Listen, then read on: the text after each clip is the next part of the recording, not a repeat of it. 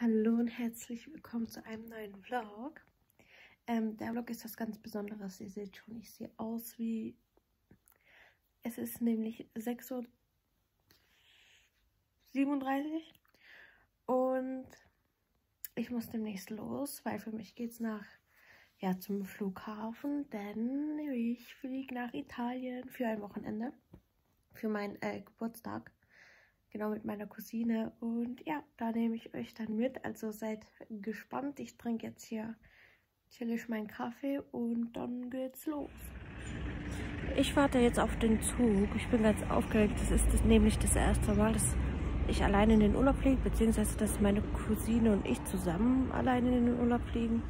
Und auch das erste Mal, dass wir auch fliegen. Deswegen, ich bin gespannt. Hier sieht man voll Schlafdings.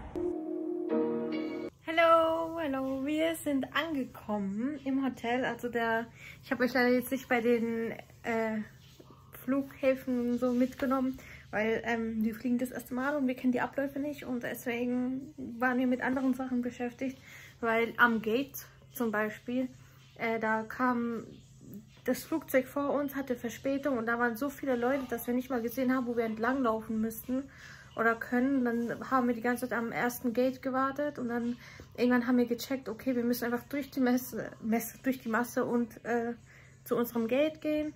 Genau. Ich bin ja das erste Mal geflogen und ich bin ganz stolz auf mich. Ich habe es geschafft. Mir ist zwischendrin ein, zwei Mal schlecht geworden. Ich glaube, meine Cousine auch. Ähm, aber sonst geht's. Und ja, dann kam der Shuttle, hat uns abgeholt. Jetzt sind wir im Hotelzimmer. Das zeige ich euch dann irgendwann später. Meine Cousine duscht gerade und ja, ich mache mich dann auch fertig. Und dann gehen wir noch in die Stadt was essen und ein bisschen auskundschaften, was es hier so gibt. Also wir sind irgendwie, ganz, also nicht ganz komisch, ich weiß ja, wo ich gebucht habe, aber als wir gekommen sind, angekommen sind, da habe ich das Hotel angeguckt. Ich dachte mir, so, wir haben irgendein Business-Hotel, also gemietet also ein Zimmer da und dann ich so zu dem auf Englisch halt dann ich so, ja, ich glaube, wir haben hier ein Zimmer reserviert und das sah alles so Business aus und das ist jetzt auch etwas außerhalb von der richtigen Stadt. Ähm, weil das war das Billigste, was ich gefunden habe. Ähm, ja, aber wir müssen dann einfach mit dem Zug hinfahren oder so. Das passt. Ähm, ja. Aber wir machen es trotzdem ein bisschen schicker, weil wenn hier schon das Hotel-Business ist, dann ähm, wir auch ein bisschen Business aus, passen wir uns da an. Die haben hier auch einen Pool und so Sachen, können wir benutzen. Ich habe aber keine Badesachen halt mit, weil, ähm, ja, ich dachte, dass wir eh nicht ins Wasser gehen. Aber ja, ich wollte mir, eigentlich kaufe ich mir eh immer im Urlaub neue Badesachen. Das ist irgendwie so zur Tradition geworden. Hallo Leute, wir sind gerade fertig gemacht und wir suchen gerade eine Zugstation, die wir eigentlich hätte die irgendwo hier sein müssen, aber es ist ganz komisch der Weg. Deswegen, ja. Leute, wir sind gerade im Hauptbahnhof und es ist einfach leer, also niemand benutzt hier wohl einen Bahnhof. Wahrscheinlich alle Taxis oder Autos oder so. Jetzt ähm, hat uns so ein netter Typi geholfen, dass wir eine Karte bekommen mit Handzeichen, weil die kein Englisch konnten. Ja, jetzt hoffen wir, dass wir auf dem richtigen Gleis sind. Ähm, ja, wenn es nicht geht, dann essen wir einfach im Hotel irgendwas, aber wäre schon schön in die Stadt zu kommen. Ja, und ein Ticket, ich glaube hin und zurück, 2,20 Euro, passt. Meine Cousine guckt immer noch, ob es das Richtige ist, aber ich denke, dass wir auch richtig sind hier, weil es ist mir jetzt zu stressig. Jetzt gucken wir einfach mal. Und hier ist der, hier ist einfach gar nichts los. Also wir, also wir dachten auch, dass wir erstmal hier falsch sind, weil es wirklich tote Hose aussah, aber wir sind hier richtig. Also es ist richtig nah am Hotel. Fünf Minuten höchstens läuft man hin. Ähm, ja, aber es ist der erste Tag. Ich denke, das ist normal, dass, dass wir uns jetzt erstmal ein bisschen rumgucken müssen. Durch einfach keinen Stress zu schieben. Meine Cousine beruhigt mich immer, wenn ich in Panik komme. Und dann kommt sie, glaube ich, in Panik, wenn sie still ist. Innerlich ist sie gestresst und ich bin laut, wenn ich gestresst bin und sie ist still.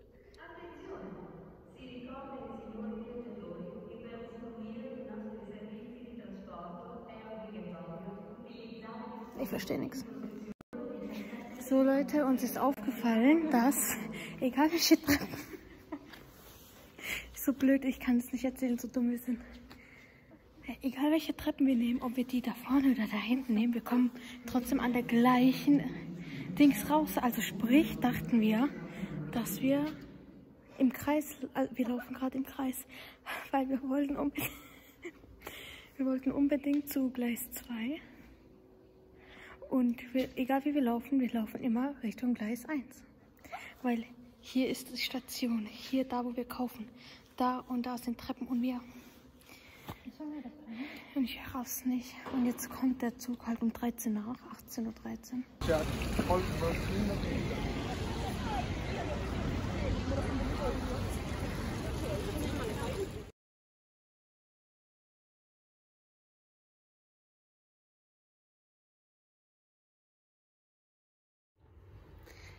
Hallo, es ist der nächste Tag. Ich glaube, ich habe euch äh, gestern gar nicht mehr mitgenommen. Also ich habe ein paar Aufnahmen gemacht, aber ähm, auch nicht so viele. Erst am Ende ist mir eingefallen, weil wir sind in die Stadt und ähm, ja, wir waren ein bisschen lost und überfordert da, weil klar war, ist ja alles neu.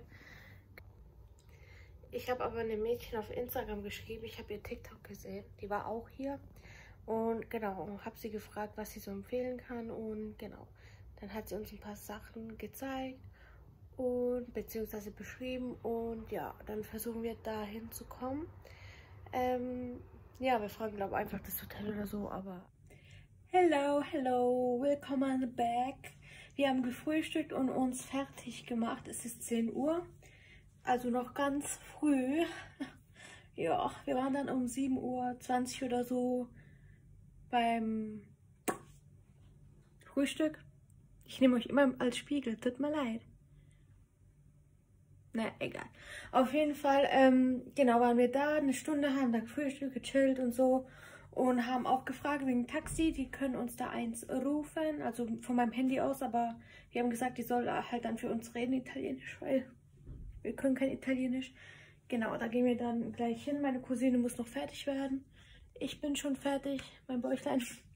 ja, egal. Das ist mein Dings. Also das hat äh, gehört meiner Cousine. Die mag das Oberteil nicht. Mir steht's. Ich finde es toll. Deswegen behalte ich es auch. Und ähm, ja. Die zieht ein Kleid an. Ich habe so eine Hose an. Ich habe jetzt keinen Bock auf ein Kleid. Also, oder auf kurze Sache. Vielleicht kann ich euch hier hinstellen. Oh. Meine Schuhe äh, ziehe ich einfach die an, weil es sind zwar 19 Grad, 18, 19 Grad oder so und hier ist das Klima zwar anders, aber ja, es sieht dennoch windig aus. Deswegen lasse ich meine Turnschuhe an und ich ziehe noch die Lederjacke drüber. Und wenn es dann geht oder nicht oder halt wärmer wird, dann tue ich sie in den Rucksack. Genau, ich habe auch so eine eine Kamera schon letztes Jahr gekauft für einen anderen Urlaub. Hab aber vergessen, die zu benutzen. ähm, genau. Und jetzt benutzen wir die. Also bitte sag mir, dass ich nicht die Einzige bin, die sich dumm anstellt. Ich habe irgendwie falsch gedreht und dann keine Ahnung. Und ich weiß jetzt nicht, ob ich wirklich äh, aufnehme. Aber gestern waren ja auch ähm, echt fertig. Dann haben wir gar nichts mehr gerafft. Wir waren froh, dass wir das Hotel wieder gefunden haben. Ja, aber dann habe ich heute Morgen diesen Dings entdeckt. Also man dreht es in die Richtung und dann drückt man drauf. Ich hoffe, dass ich jetzt nicht den Film voll gemacht habe beim Ausprobieren, wie es geht. Ja, das wäre scheiße. Aber genau, ich glaube, hier gibt es bestimmt auch irgendeine Drogerie oder irgendwas, wo man das holen könnte. Ja, aber ich denke, dass ich bis jetzt erst zwei Fotos gemacht habe. Weil, bei der, bei, weil davor habe ich es, glaube ich, falsch gedreht. Na, egal bin ich ready und ich kann es nicht erwarten. Also meine Cousine hat sich voll die hübschen Locken gemacht. Ich habe jetzt gestern noch schnell meine Haare in diesem Revlon-Dings gemacht. Wer nicht weiß, wovon ich rede, auf TikTok poste ich die ganze Zeit so Haarvideos. Da könnt ihr mich begleiten, weil das ist so, man muss das halt wirklich lernen mit diesem Gerät. Und ähm, es wird ein Stück für Stück immer besser, aber trotzdem nicht so, wie ich es haben möchte. Deswegen ja. Und meine Frisur, ich habe einfach die vorderen Strähnen genommen und dann so eingerollt und dann, ja. Ich sehe aus wie eine Prinzessin. Ja.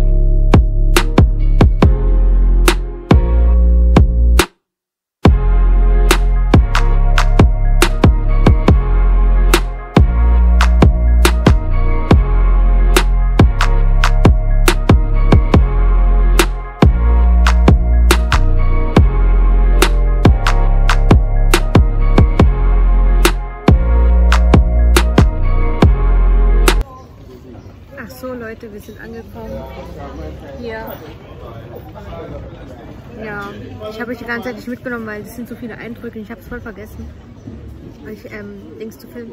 Auf jeden Fall haben wir uns Alkohol auch noch bestellt, irgendwas. Ich habe nicht verstanden. Ich ist das Alkohol? Ist das Alkohol? Der so, ja, Alkohol, Alkohol. Jetzt hat der Ken uns die ganze Zeit verscherzt mit dem Alkohol, aber auch in Serbien, wenn wir gehen, wir werden immer verscherzt mit dem Alkohol. Naja, auf jeden Fall, ich glaube, der hat einen extra Schuss dazu getan. ja, ich habe einen warmen Kaffee. Warte, ich drehe um. Ich, also der Kuchen ist geil, Cheesecake Pistazie. Ich habe einen Latte, sie hat einen Eiskaffee und dieses Alkoholgedöns. Ja, wir trinken es extra, weil ähm, wir haben zu viel Stolz, um das nicht zu trinken, weil das ist sehr stark. Aber wir werden es trinken, das Alkohol.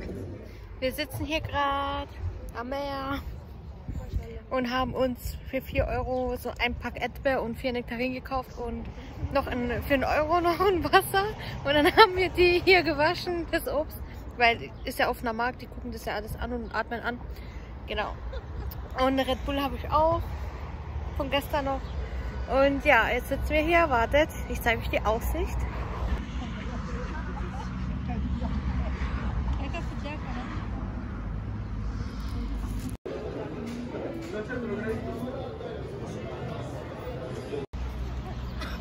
Wir sind wieder an unserem Lieblingsplatz mit McDonalds. Wir haben kein richtiges Restaurant gefunden. Ja, hier trinken voll viele Leute, aber essen wohl nichts. Ja, und die guten Restaurants waren voll. Und ja. Du zu mir?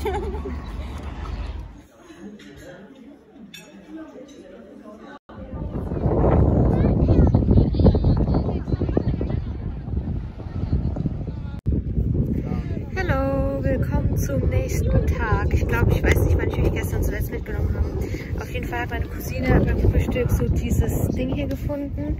Das ist Strand. und ja, musste man Eintritt bezahlen. Das ist so ein Privatclub. Ähm, ist aber gar nicht teuer gewesen. Jetzt sind wir bis zum Strand gekommen. Das habe ich auch wegen der Sonne, weil gestern habe ich gefühlt einen Hitzestich bekommen. Es ist kühl und windig, aber ja. Es wird hoffentlich dann wärmer. Ja. Hello my friends, es ist ein paar Stunden später. Wir haben schon gegessen. Ich habe euch nicht mitgenommen, äh, weil äh, ich habe es vergessen. Ganz einfach. Und ja, wir sind jetzt gerade auf unseren, ähm, nicht mehr auf unseren Liegen, äh, auf unseren Decken. Keine Ahnung. Und ähm, genau, chillen jetzt noch ein bisschen und genießen das Wasser. Wir haben ein paar Bilder gemacht. Ich weiß nicht, ob gute dabei rausgekommen sind. Ähm, ja, meine Einwegkamera von DM ist voll. Ich hoffe, dass da ein paar Bilder gut äh, rausgekommen, also rauskommen werden. Und ich hoffe, ihr könnt mich hören, es ist ein Wind. Und ja, das Ding fliegt die ganze Zeit weg. Meine Cousine sagt schon, ich sehe aus wie eine Mutti. Ja. Hallo, wir sind jetzt am Flughafen und fliegen demnächst zurück. Wir sind etwas früher los, weil wir uns hier nicht auskennen. Und jetzt warten wir draußen, weil drin zu viele Leute sind. Ja, Nein, das war keine Puppe, das war die meine Haut. Ja. Und hier habe ich fett äh, Lippenbalsam drauf, weil die Lippen haben auch einen Sonnenbrand. Meine Freunde, wie ihr seht, wir sind wieder in der gewohnten Umgebung. Ich bin auch, oh, kann ich mich hinsetzen? Auf jeden Fall, ähm, das sieht gut aus mit der Pflanze, oder? Ich bin am Montag um halb zehn circa zu Hause angekommen. Am Dienstag ähm, war ich dann arbeiten. Also ich, ja, ich wollte eigentlich nicht, äh, weil ich habe halt den krassesten Sonnenbrand, den ich je in meinem Leben gehabt habe. Ähm, genau, aber äh, ja, ich habe mich dann halt schlecht gefühlt, wegen dem Sonnenbrand zu canceln, obwohl ich halt aussehe echt wie so ein gebratenes Hähnchen. Ich zeige euch halt auch nicht alles oder so, weil ähm, ein bisschen Privatsphäre muss man haben.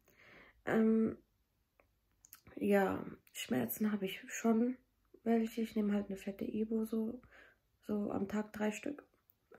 Beende ich hiermit den Vlog. Ich hoffe, es hat euch gefallen. Also mir hat das Wochenende echt gut gefallen. Ähm, es, wie gesagt, wir waren ja das erste Mal alleine im Urlaub und das erste Mal auch so zusammen alleine. Und für das haben wir uns echt gut angestellt. Wir haben alles geschafft, was wir wollten. ähm, sogar viel mehr mit dem Sonnenbrand. Ähm, ja, also ich, ähm, mich freut dass es so gut geklappt hat. Und ähm, ihr hat es auch sehr gut gefallen, hat sie gemeint. Und ja. Ihr könnt gerne mich weiter abonnieren, ähm, den Vlog hier teilen oder liken, sharen, wie auch immer. Ähm, ja, ihr könnt auf meine Social Media Kanäle gehen. Ähm, da habe ich auch ein paar Sachen gepostet und genau. Wir sehen uns dann im nächsten Vlog.